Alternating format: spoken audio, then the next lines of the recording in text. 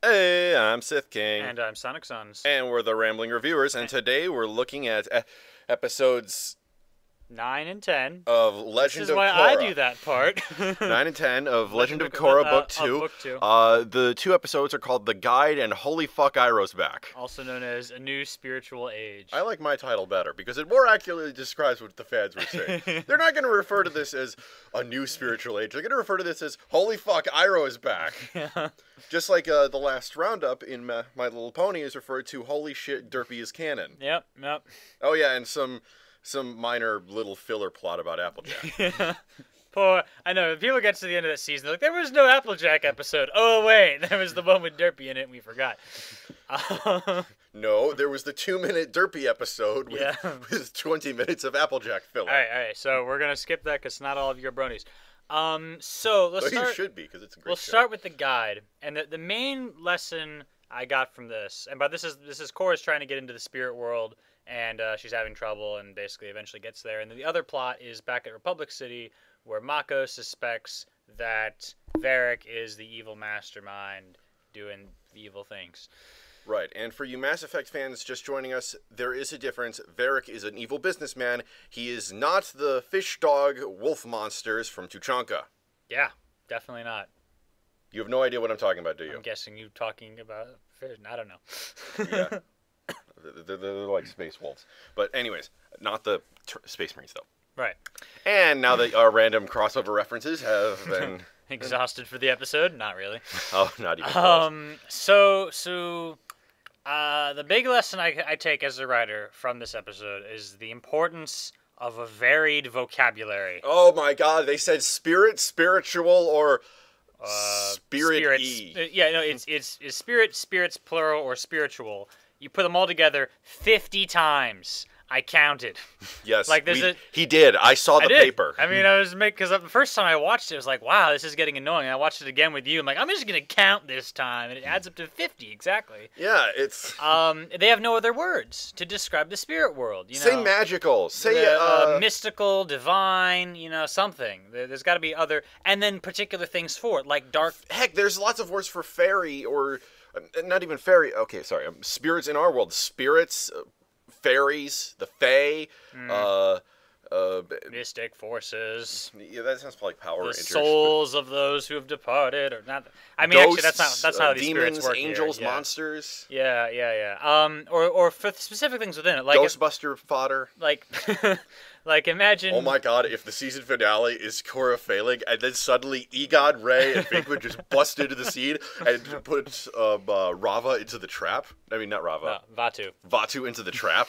Yeah. that would just that would I would watch every I would pay them a million dollars. Yeah, yeah, no. That um, won't happen. But like, imagine if dark spirits, for instance, are called like the Varani or something, and then you could be like, you know, the Varani are growing stronger, Vatu, Vatua. or the Vatua. Yeah, that, that's a thing. That's a good word. Yeah, Well, and uh, then and then it would like it would feel more real, and you would stop hearing it have the same two syllables, spirit, spirit, spirit, over and over. God, I've read uh, fan fictions about the Turians from Mass Effect that didn't have this many inclusions of the word spirits, and they worship spirits as gods in there. Yeah, they didn't have this many inclusions of the word in in Mass Effect 3, and you fought alongside Turians as their worlds were being destroyed by wave after wave of endless mechanoid Cthulhuid horrors.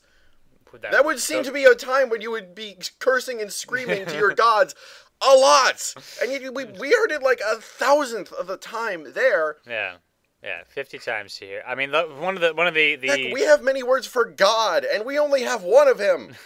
well, we're Christian. We, we only have. Well, I'm Christian. yeah, whatever. Sort of. Um, Ish. It's okay. Moving on. so so yeah, like one of the exchanges between Tenzin and Korra goes like this: is something like, you know, you uh, managed to what is it? Um, you whatever. You got rid of those dark spirits. You know, Unalaq may be a jerk, but his spirit powers are no joke. He told you how to get rid of dark spirits. I can't even get you into the spirit world. Like, stop saying the same word every sentence. You know, or spiritual is not the same word, but you know what I mean. It sounds similar. The first two syllables. Um, and so it just got you know kind of annoying. Kind of. Um, and and, that, and especially when you realize there, there's two plots in this episode. The other plot has nothing to do with spirits, so it's it's 50 times within let's say 15 minutes that they actually spend on the Korra plot versus the other seven on the Mako plot. which is remarkably dumb. So it's I, not I, I remarkably like, I- dumb. well, yeah. It's it's just that uh, you know Korra's section of the episode. I don't know. You know what it feels like? Hmm. It feels like uh, let's say the Power Rangers are getting ready to face um, uh, Lord Zed, who's super powerful. He's gained like the powers of Frieza from Dragon Ball, and he's like going to Wow. destroy the entire universe. yeah.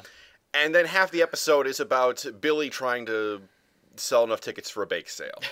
We don't care about the There- bake there's sale. a contrast of weight, is what you're saying here. Uh, what I'm saying is, Yeah. we don't care about the uh, about the part of the episode where Billy's trying to raise money for a bake sale. What Mm. we're trying to do is, I don't care about Varrick and his war profiteering. Quite Yeah. frankly, that will cease to be an issue once Korra accomplishes the main thrust, which is Right. to defeat Unalaq Right. and Vaatu. Which is different if you if you And wanna, then you can yeah. go back and say, "Hey, we found all this evidence, and uh, Varrick is evil." Yeah, yeah, you could do that on your own time. Uh, so but, and I understand they, they want to try to get uh, Mako and uh, Asami and Bolin in on this. But the, yeah, they're Here's not- the th- there's yeah. there's two problems with that. One, the plot doesn't have much weight to it. Mm-hmm. It basically feels like um, it feels like trying to sort out a gang fight when it's trying, when trying to something bigger is going on at the same time. Is that what you just said?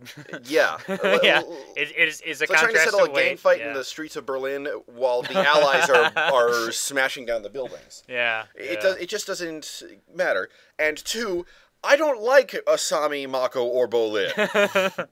so you're giving me a Ah. stupid plot that has really no relevance to the overall story arc, Uh, unless Varrick is actually Vaatu in a human shell, or he's like no, a T eight thousand. I'm convinced that Varrick is innocent now, actually, because every single time he talked, it was clearly written to be phrased in a way that would sound suspicious, but not actually indict him. You know, he didn't say like, "And here's my evil plan." He just said things like, "You know, I know that you know," and I was like, kind of like Varrick. It is kind of Varrick, but I'm betting he's innocent, and they just wrote it, you know, specifically so he could be like, "No, what? I was talking about this other thing the whole time, and it will totally Although that be would true." be, be a really nice plot twist. Like for the entire next season, uh, Mako's in prison and he's the bad guy for the fourth season. What?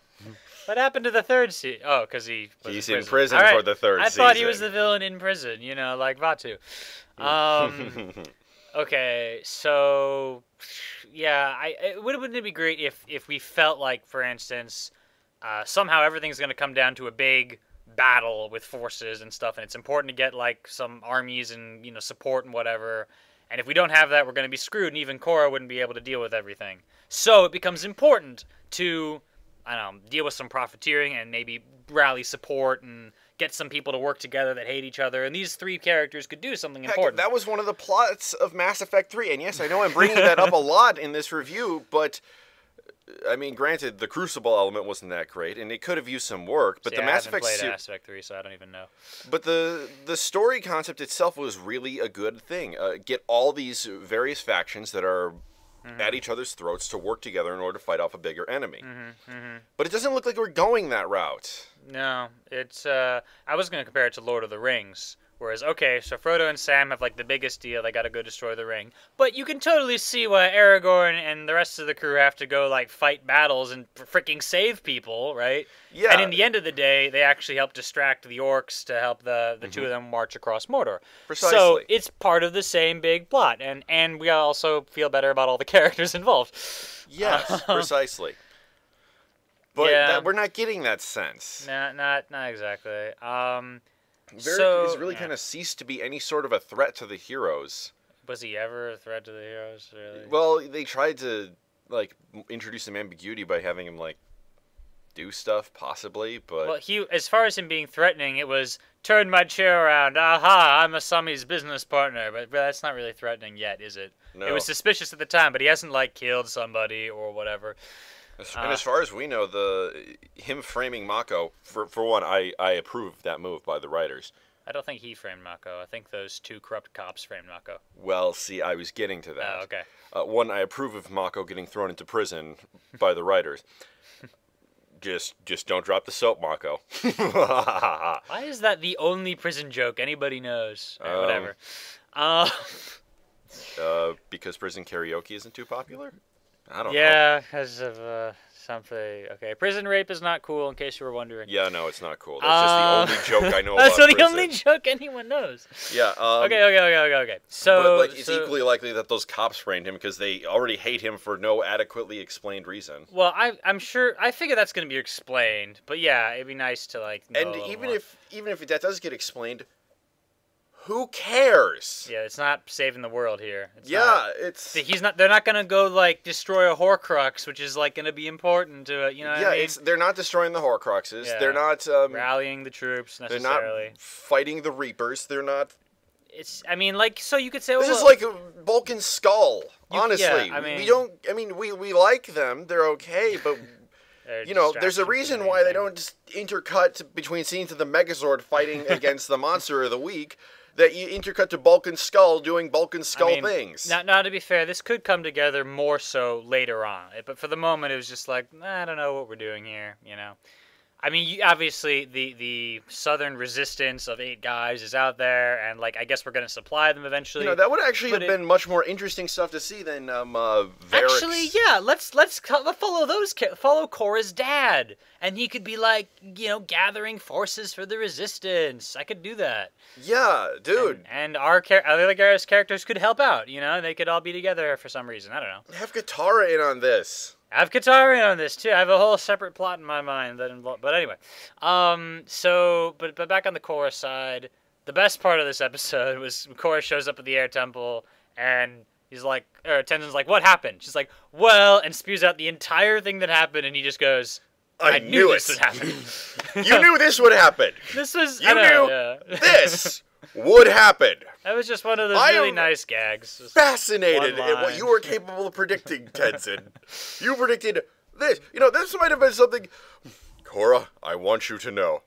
Be very careful about Unalaq because it's very possible he's trying to to revive Vaatu by opening both spirit portals. Right. And uh, be extremely dangerous when trying to visit Fire Lord Zuko to get the assistance of the Fire Nation to free your tribe because it, there's a good possibility that the that a giant underwater dark spirit will capture you and erase your memory. But then you'll fi- but then you'll fortunately find a bunch of monks who have an inexplicably large herd of sky bison And who will help bunch you, will help water. dunk you into magic water and Yeah. get your memory back. Yep. Fortunately, without any character development whatsoever. no. Did you get all that, Korra? Did you get all that?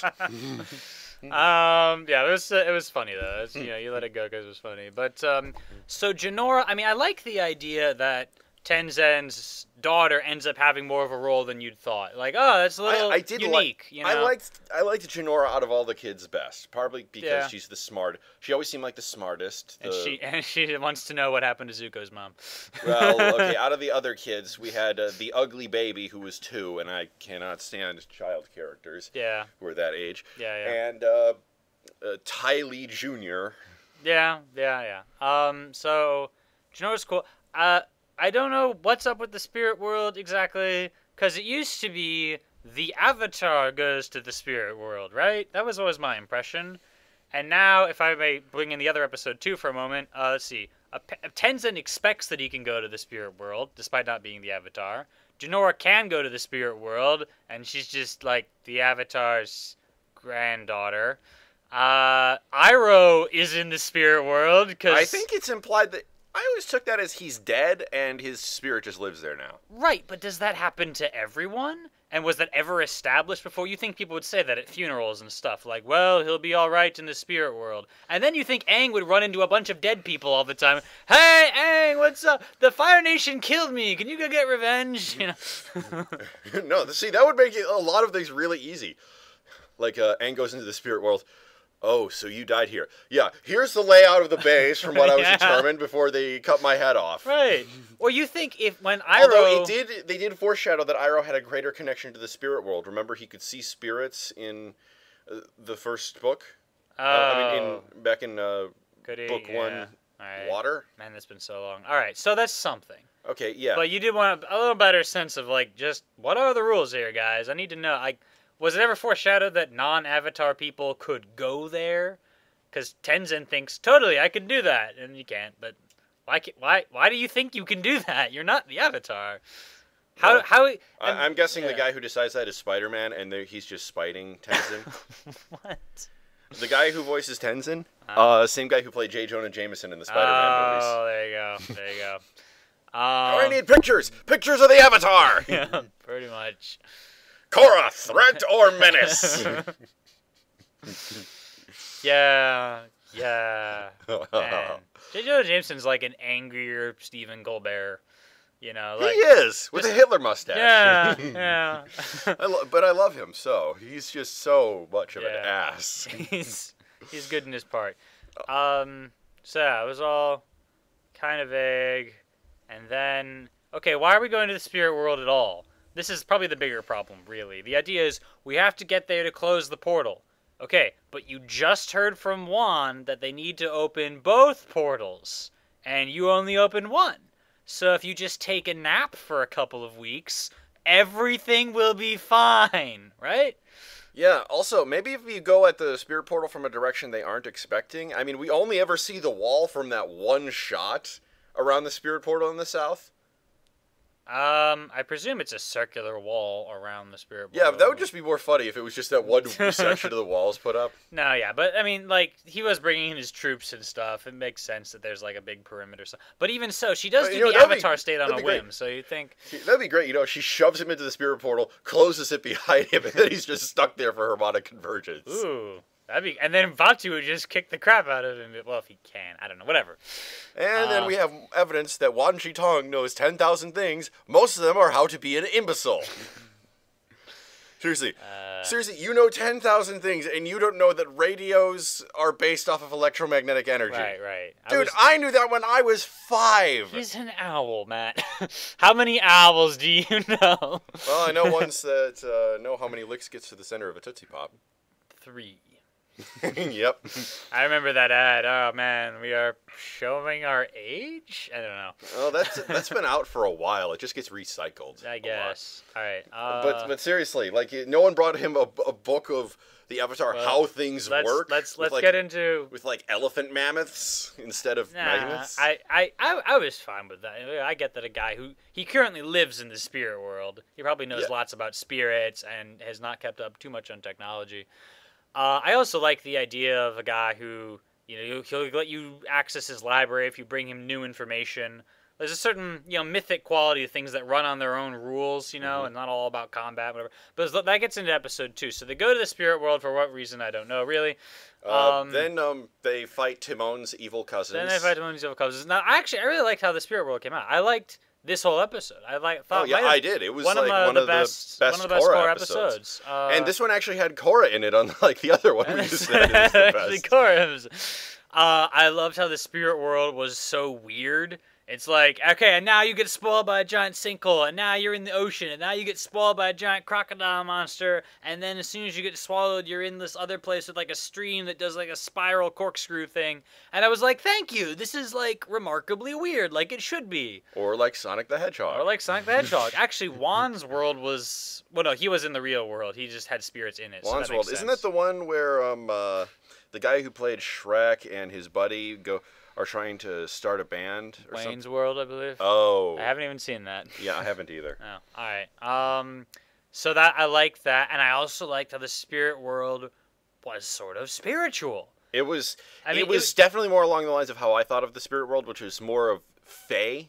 Uh, You know, like uh, the little folk operates on its own bizarre rules and Right, logic, right. but you know humans can't really comprehend them because they don't Right. follow causality and, or something. Well, and I like the the whole. You know, basically, if you have a good attitude, then the world reflects that. If you have a bad attitude, the world reflects that. It's a pretty simple idea, but it's different. And Eh. isn't that kind of cool? And Korra turns into a little kid, and I love this. She actually goes through some character development by the end of the episode. yes, she does. She learns she makes friends with these spirit monsters and they like turn into nice guys. And you're like, she's doing a different thing. That's amazing. and Iroh was there. Yeah, okay. but Every, like I said earlier, Yeah. everyone's going to talk about this part of with the a episode. different voice because the voice actor pa- sadly passed away. But you Wait, know, Wait, the second one passed away? no. The wait, did he have two uh, voice actors in the first series to begin with? Yes. Oh well, I didn't even know. The first one was Ma- the first one was a very famous voice actor known as Mako. Okay, In fact, Mako from this guy's named after him, right? yeah, uh, and uh, actually Prince Iroh was named after her, that Iroh, also as a tribute to Mako. Uh, right. Okay. Uh, yeah, he was pretty famous. Uh, he did Aku. That Mako did the voice of Aku in uh, Samurai Jack. Okay. When did this? When did they change over to the second guy? I didn't even Uh, when Mako died. I know in the story. you know, I can't remember. Sometime mid season two. Okay. Well, all right then. So it's the same voice then, and I didn't In even fact, know in there fact, was a problem. Uh, Remember um, uh, Tales of Ba Sing Se when uh, Iroh was going around like um, uh, gathering stuff for that picnic thing, and then he sang that song to his lost son. yeah. That episode was dedicated to Mako. Ah, that makes sense. All right. Yeah, so this is the This is the second guy who Mhm. still hasn't. All right, fine. I thought I'd. I just knew that one bit about the first guy dying. I assumed he died between shows, so I was wrong. Um. Oh, also, apparently books are seasons. I said that in an earlier episode that they were packaging it differently. Apparently not. I don't know. Uh, but uh, so I was, was, was nice. Uh, he gave some advice. Uh, with lice. I'm trying to think rhymes No, do not rhyme. Um. Uh, yeah, he gave us some advice, and he somehow had the sacred spirit tea kettle for some reason. Who else in the history of the world is gonna have the most spiritual tea kettle than Dead Iroh? Point. Point. Point. If it wasn't a kettle, I'd give it to you, but it's a kettle. um, Uh, uh, what do you want to bet he just like it, it was held by like some horrible Cthulhuid monster, and Yeah. Iroh just busted down the doors, grabbed the kettle, Yeah. and stormed out. yeah. He Yeah. just- It's cool. you see Ko walk up, go up to the monster, and the monster is like eighty feet tall. He's just destroyed. Uh, messed with Iroh's tea, didn't you? Yes. what was that? Uh, so basically, Korra brings the baby bird phoenix thing to the top of this mountain. Okay, that bugged me honestly. The baby dragon phoenix. Why do you need to mix that? You already have dragons in your world. That is fine with me. You do, what do you need? It's already a magical thing. It's a phoenix. Just say it's a phoenix, not a dragon phoenix. Nah, The hell, man. whatever. Brings it to the top of the mountain, and then it merges with the other ones, and they make like this super dragon phoenix thing, which I thought was really cool. Again, it was all weird, you know. Okay, I have to admit it. When I saw that, I yelled, "DNA Digivolve too!" Is that a thing? They merge? Uh, yes. I haven't seen that much Season Digimon. Really? I thought you said or Digimon. Whatever. I saw Digimon in season one. Though Uh, I the got up to Angemon and uh, Angewomon and and uh, Mega, the Mega, the two Megas that first showed up. ah. Yeah. Okay, season two they have DNA Digivolve. All and- Which is where two Digimon fuse into a more powerful. Fusion Dance, Ding. Yeah, pretty much. but anyways, so yeah, they and the spirit, Korra and the spirits go to the site of uh, the portals. The, the the tree of the tree of time. I actually liked it when they named that because you know what they would have called it had they been what they were doing last episode, the spirit tree, or the spirit spirit, or the spiritual spirit spirit. Tree. I was like, s- I the just- tree of spiritiness. I just got to tree of time and I was like, thank you. It sounds different now. uh, so they get to the tree of time and, and yeah, those those monsters Korra befriended, they were a big help. they. So this was confusing. They were to me. instantly converted. What was the point of that? Well, it was still neat that you got past them in the first place, even if they are going to turn again. Uh, but yeah, it was a little confusing under what rules they do convert. I was like, is Unalaq doing that to them? Is Vaatu doing that to them? Is, is it because Korra's angry? I thought that might be a thing. Like, she had to like meditate or something in the middle of this, and then they'd go back to normal, and then they could defeat like Unalaq. And then it was said it was just like, no, I'll just fight. Kind of, more, well, she couldn't bend, but she tried to fight, you know. Although I do like how they explained it. Apparently, if you're a spirit, you're there in spirit in the spirit world, you, and you can't bend. Uh, That's because you're a spirit, not a physical presence. Right. So Unalaq, he went through the So- portal. that made sense. Okay, so that explains a little plot hole that I was a little upset about back in um, Whatever episode that was. uh, the Wan episodes. Um. Yeah. Well, I mean, he he tried that. Diff. Whatever. Yeah. He, he was bending in the battle of Ra- against Raava. Oh, right, right, right, right, right. Um, I was talking about Unalaq trying to open the northern portal from the inside using bending earlier on, and we were like, how does he bend if he's in the spirit world? Yeah. And he mentioned going through the portal, but to our minds that just meant you're in the spirit world. We didn't know it was like a different type of going to the spirit world. I think the physical body being present. Yeah, yeah, that's the main thing. Um, but uh, Maybe bending works like chakra, where it needs both a spiritual and ment and physical component. Yeah, could good.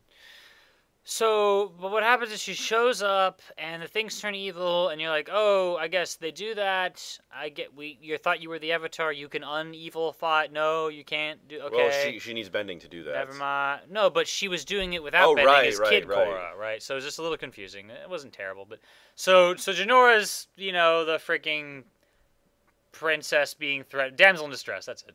Yeah. Is the damsel in distress, which, I- is I'm a little really- cliche. But you're like, okay, really whatever. of, yeah. It kind of makes sense, you know. She, She is a kid, She's yeah. a little kid Yeah. in a spirit world. Yeah. Uh, so uh, it's okay. Open the portal, or I'll kill her. And Korra decides to open the portal, and then does so, and then Unalaq fricks her up anyway, and is nearly kills her. What? The guy who lied to me several times tricked me again? Who could have seen this? It would have been neat if she had like a little more of a plan, you know, like I don't know, like there's some I- spirit in her pocket, and she's like, "Aha! I'll, you can attack him from behind or something," you know, while I pretend. to open the. Groundhogs! Gra- the freaking meerkats come Yes. back. Ah! Just like the little paws coming up out of the ground and dragging him down. Just drag down Vaatu while you're at it. Yeah. Uh, Um. So, uh, but then, so here's this was weird though. yeah, I mean, it, it was kind of sad that I was thinking this, but um, uh, like it- basically the consequence is Armageddon if uh, both portals are opened. So my thought was actually the needs of the many outweigh the needs of the few, or the one.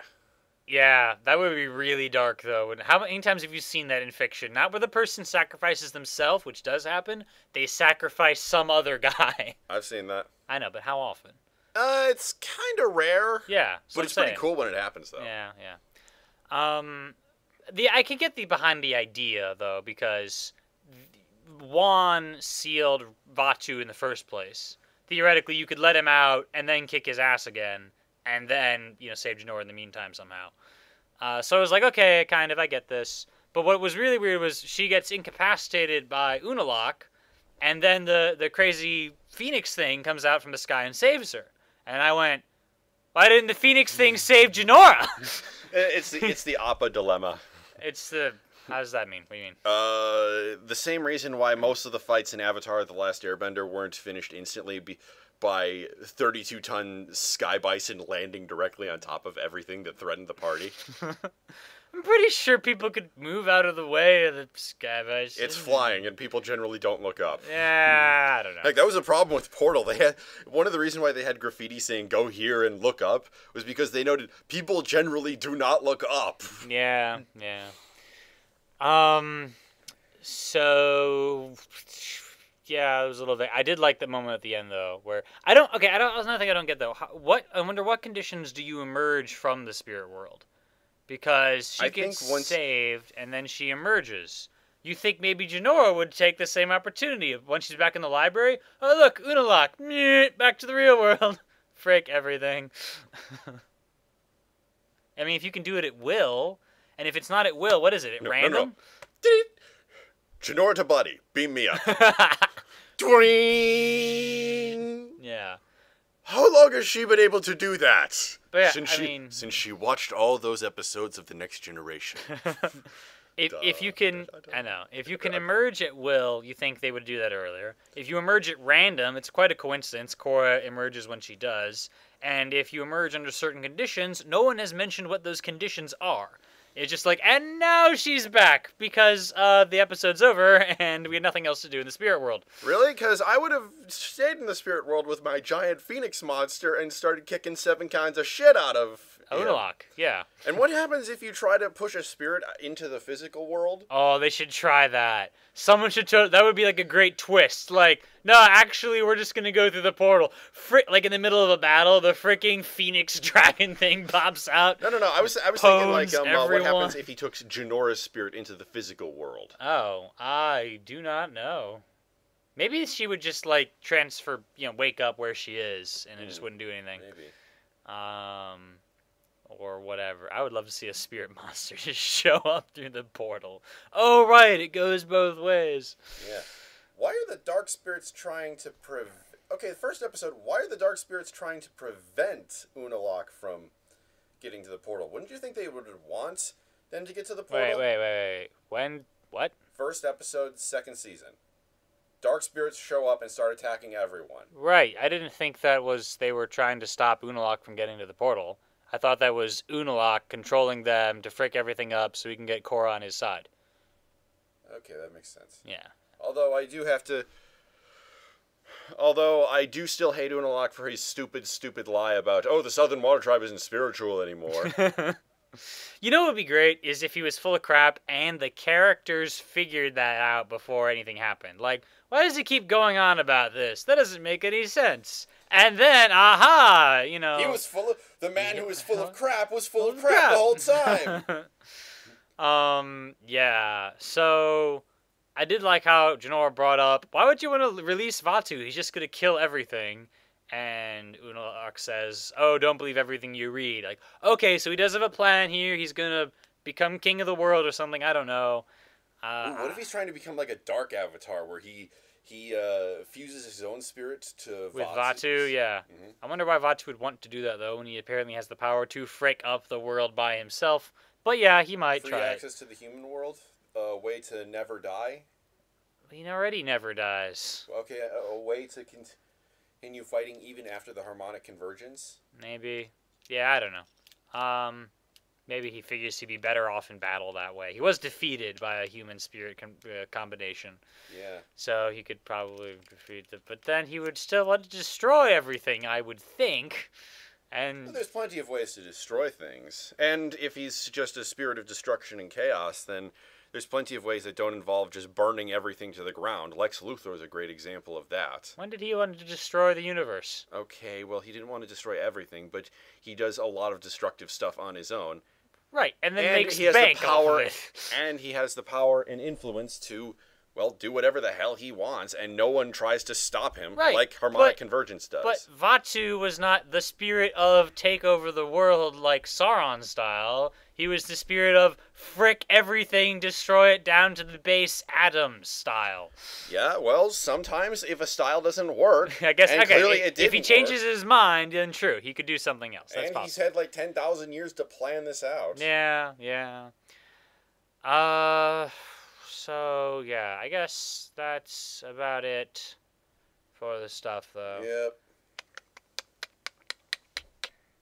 Yeah. It Yep, was, that's it was about a it. pretty good episode. Pretty the good second epis- one. Stop saying spirit all the time in the first one. Get a thesaurus. Get a the so uh, get it from that library. I'm sure they have a few thesauri or whatever. The thesaurus is. All right, we're done. Okay. Well, I'm Sith King, And I'm Sonic Sons. and we're signing off.